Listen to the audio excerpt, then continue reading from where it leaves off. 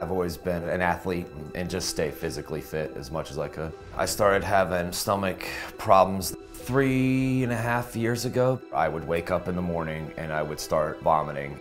I couldn't get out of bed. I would have these incidences. I become real lethargic, stumble, and my speech is slurred, and I'm extremely confused.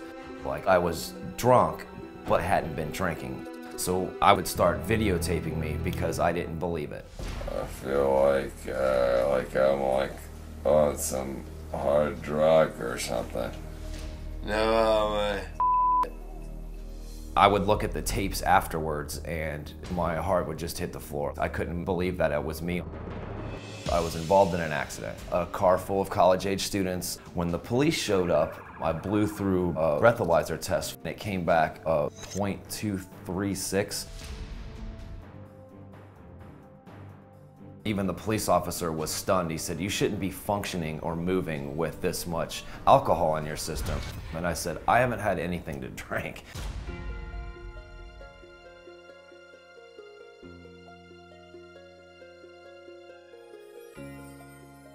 I was referred to Dr. Kanodia through some friends of mine. He's like, Doc, I don't feel well.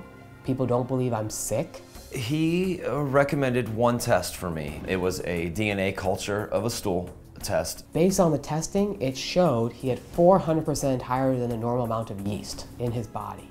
Autobrewery syndrome is basically someone having so much yeast, it's fermenting and actually making alcohol in their body. It's very serious. It can even cause death. We had to put him on a plan to get him healthy. Anything that breaks down to sugar, we're gonna take out because sugar feeds yeast. So then we changed his nutrition to a high protein, high veggie nutrition plan, and that's what he did. The effects are phenomenal. Just a simple diet change has been remarkable in my process here.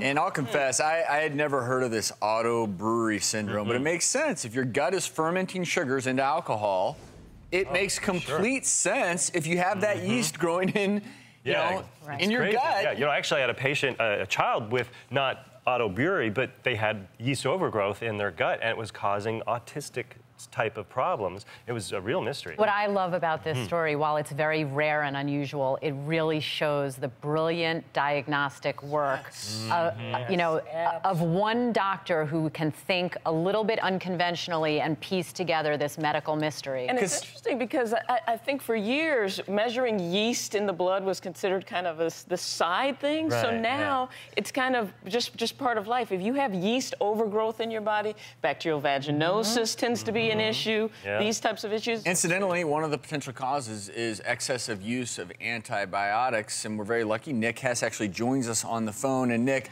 you know, I'm so glad that you figured this out. I'm just trying to imagine those conversations when you know, you're getting pulled over for DUIs, you're trying to convince people in your life you're not a closet alcoholic. Um, even you, I must assume, were shocked by this diagnosis. Absolutely, absolutely. Um, we had tried and um, jumped through all of the um, hoops that we should medically, and um, we just didn't have any answers at all. Um, Dr. Kanodia was pretty much our last resort. It was going to be like the last try. I was kind of dealing with the fact that I was going to have to live like this for the rest of my life. And now, Nick, wow. that you've cut out the sugars for the most part and focusing on proteins and fats, which of course can't be fermented into alcohol are your symptoms gone, and, and have you been able to treat with the yeast with, with antifungals?